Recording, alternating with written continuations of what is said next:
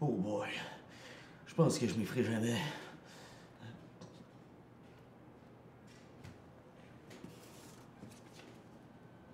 Paris, janvier 1924. 1924. Les années folles. Paris. Il me fait plaisir de vous transmettre ce présent pour souligner votre première représentation parisienne. Affectueusement, John. Paris 1924, les années folles.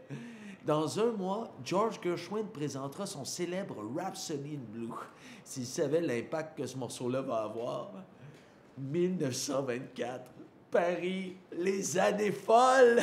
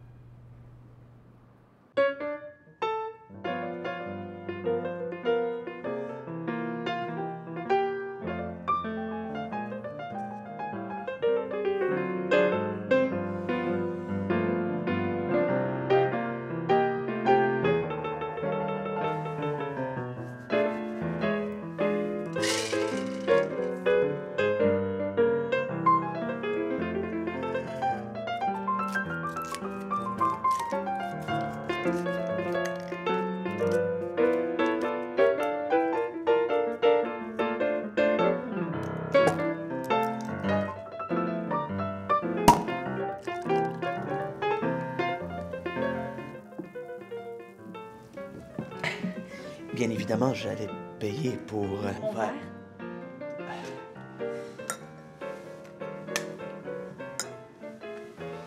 Saviez-vous que Paris s'apprête à connaître des années d'effervescence et de liberté totale qui résonnent, selon moi, comme une parenthèse enchantée en cette période de deuil national?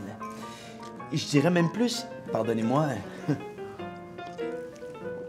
des années folles. Ne me dites pas que vous faites partie de ces charlatans qui, sous prétexte d'en connaître un peu plus sur l'art médicinal que le commun des mortels, s'octroient la vertu de prédire l'avenir. Euh, non, madame, euh, je suis historien. J'étudie l'histoire de la musique, enfin, euh, l'impact de l'histoire sur l'évolution de la musique. Il me semblait effectivement entrevoir sous cette charmante mais gênante allure un homme des arts. Je dois déjà vous abandonner, mais ne partez pas tout de suite. Restez découvrir notre musique et peut-être pourrez-vous par la suite nous décrire l'avenir. The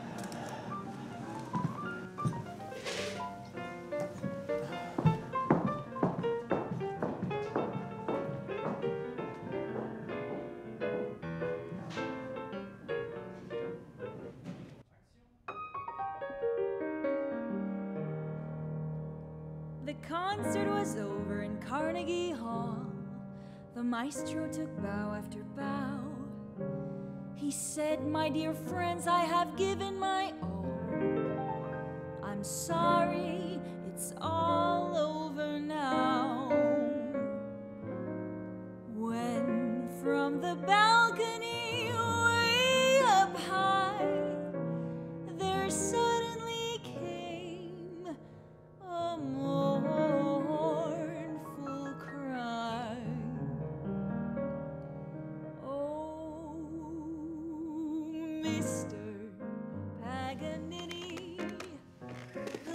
Saviez-vous que beaucoup des aînés de cette époque accusent le jazz d'immoralité?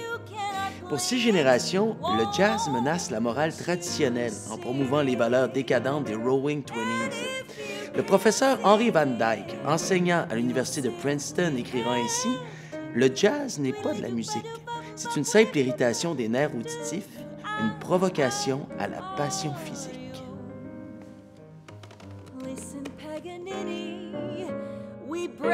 anxiously await your masterful baton. Go on and sling it, and if you can't sling it, you'll simply have to.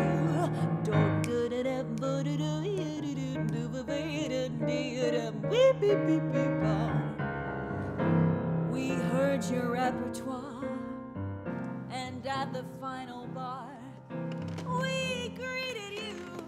Certains médias dénigrent également le jazz, comme The New York Times, qui écrira divers articles et gros titres souvent mensongers en défaveur du jazz.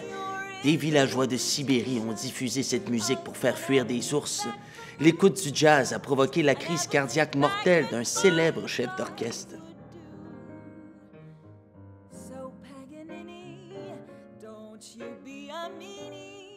Mais dans un même temps et d'une manière totalement controversée, le jazz exerce une influence sur des compositeurs tels que George Gershwin et Herbert Howells. Bon nombre des œuvres de Gershwin deviendront de grands standards de jazz, grâce notamment à Ella Fitzgerald et Louis Armstrong.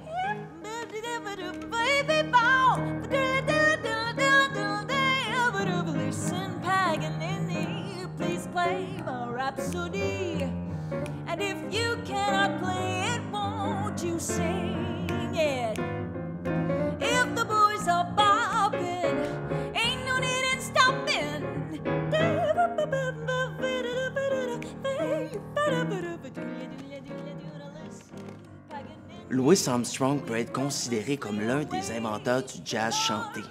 Il jouait de sa voix rappeuse si reconnaissable dans l'improvisation, liant les paroles et la mélodie des chansons de manière expressive.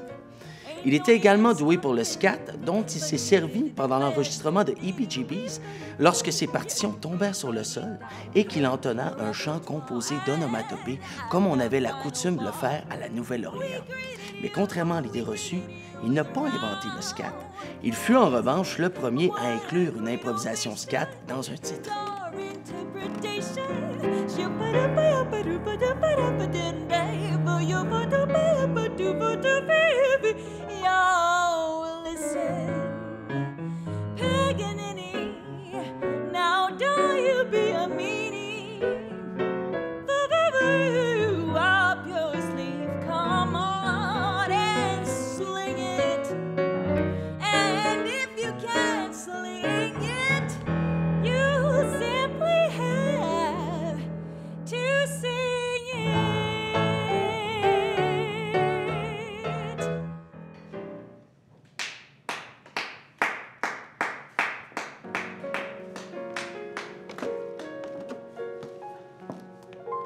Alors, qu'en pensez-vous? Voyez-vous en moi la juste descendance de notre folle histoire? Je vous dirais simplement qu'afin de garder notre rencontre dans toute sa délicatesse, j'ai décidé de profiter de l'instant. J'ai décidé de poser mes valises et, et peut-être vous inviter à...